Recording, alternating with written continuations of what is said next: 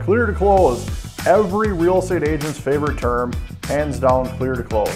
What that means is that when a buyer is going through the buying process, uh, they'll have the home inspection if they're having one, they'll have the appraisal, we get title work done, uh, underwriters that work for the bank are reviewing all the documents that are submitted. Uh, there's a whole lot of things that happen behind the scenes. And then once every single verification is done, then they verify employment. I mean, all these things. Once all that is done, then you get issued this formal letter saying clear to close. That's their commitment to lend. There's no more, uh, there are no more issues that could possibly come up.